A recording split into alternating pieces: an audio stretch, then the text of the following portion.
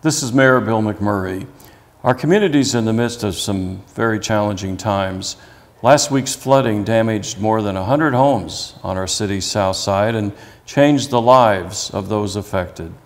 Many of them lost everything homes, cars, household items, possessions, cherished memories. They're our friends, our families, and our neighbors, and they need our help. We can help them to rebuild their lives and their homes. Please consider volunteering and or making a donation to help those who were displaced as a result of the flooding. InterServ is coordinating the relief efforts and is accepting food and financial donations.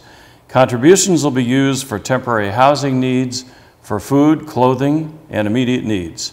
Please send your contributions to InterServ Southside Neighborhood Help Fund, P.O. Box 4216, St. Joseph, Missouri 64504, or call InterServ at 238 4511.